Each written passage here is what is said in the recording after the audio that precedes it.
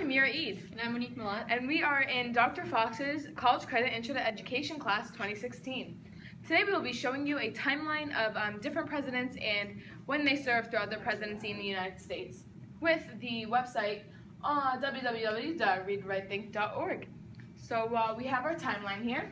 You can organize your timeline in three different ways. First, we have date. August 20th, December 20th, etc. You can set a date of when you like it. Okay, next we have time. Time is like when you wake up, any when you go to bed, anything that you want to set your events to to remind you about the time.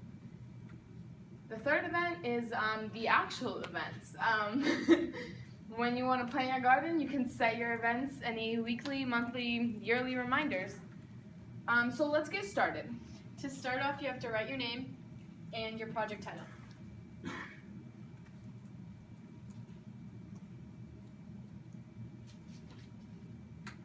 So first, you can cl um, click anywhere on this timeline. So we clicked on like the first because that's where we're gonna start our events.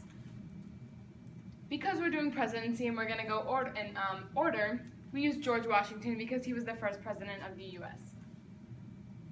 So once we have finished the um, label and the short description, we can click over here where it says choose image. And um, we have saved these pictures in our Google Drive. So you just go to files and you pick your file that you have. They should all pop up right here. You click on George Washington and it will appear right in this box as you see here. And if you need to, you can write a full description on the event.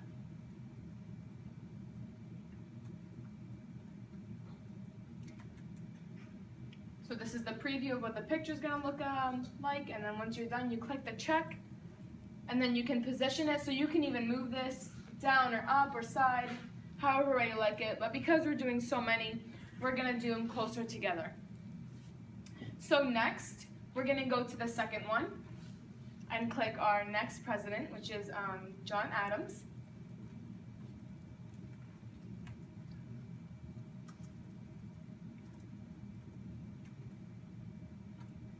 Just like we did again, we're going to choose the image.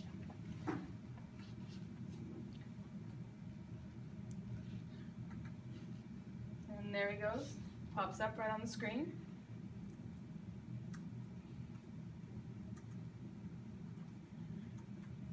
You can always delete your image too if you need to. It says delete image right here. Anything happens, you want to delete it. So you click the check, then again you can move it up and down. Um, now we're going to be doing our fourth president. So you click on your timeline anywhere.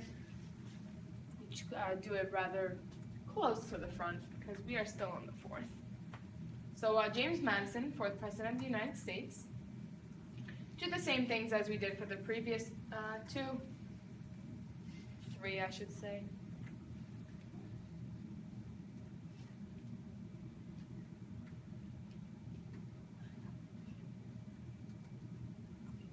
Select the picture, select the image. Now you can actually um, size it however way you want. You can um, minimize, you can turn it to any way you really feel that um, James Madison wants to be. So as you can see, we have him as a slant and we put him in the third, the fourth president. But Amira, we missed the third president. Oh, but see, you can actually do this. Because we missed the third president, you can move this little bubble anywhere on the timeline you'd like.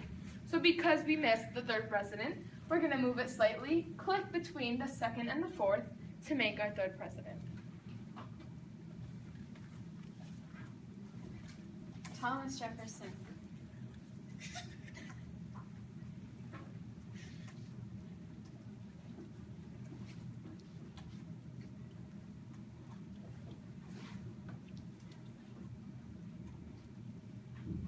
So right now we're just typing in our information for the third president, and like we did before, we are selecting our image from Google Drive.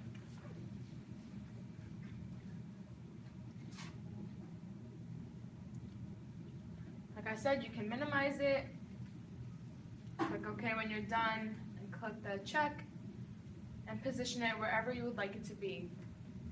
So as you can see here, George Washington was the first, then John Adams, then Thomas Jefferson, and James Madison. So they all go in one order, one through four. And so when you are done with your timeline, you click this um, finish arrow right here, and it brings you to this, and you can save it as a draft, save as final. So once you save it as a draft, you click save, and you can save it as a um, in your Google Drive, and you name it, put it in the folder you want it to be in.